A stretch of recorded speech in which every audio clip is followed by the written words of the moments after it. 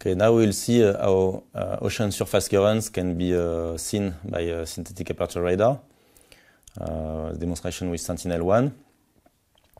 So I will, uh, I will first select uh, the Sentinel-1 data. And we will look in an area where it's supposed to be a very strong current, which is the Agulhas current in South Africa. So when we zoom, we can see uh, Uh, on the SAR image uh, a larger uh, roughness in an area where the, uh, uh, the, the surface current is actually actually facing the, the waves, so it's it's introducing more, more roughness. So we see the the area with with brighter backscatter on the on the SAR image. And if we overlay the, the Doppler shift, so the Doppler shift is the, the velocity uh, towards the radar.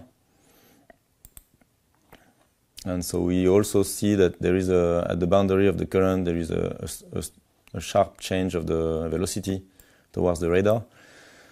So this Doppler shift is not uh, yet calibrated, but already uh, we see the, the relative uh, uh motion related to the surface current.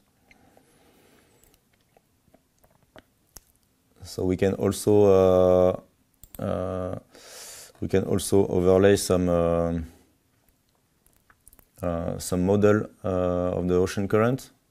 So this is a, a CMEMS model.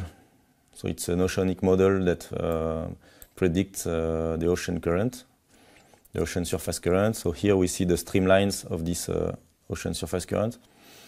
So we see clearly that there is an agreement with the location that we see on the SAR image, but at the same time, the boundary of the current is not as sharp as we see on the, on the observation.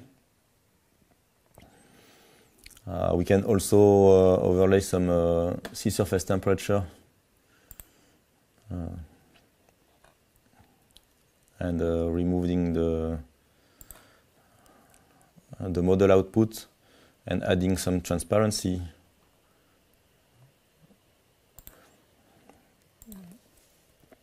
So we can we can we can see that the actual limit uh, boundary of the surface current is the, at the same location as the the change in uh, sea surface temperature. So this is clearly a uh, a warm current uh, that is uh, uh, flowing from the the north east to the southwest of the South African coast. And we also have the possibility to overlay drifters trajectories. So the drifters are actually uh, some floating uh, buoy that has a, a drag 15 meter uh, under the surface and uh, that are drifting with the surface current. So we represent the, the trajectory of this drifter for one month and the color uh, is proportional to the to the velocity. As we can see, the velocity goes from 0 to 2.5 meter per second.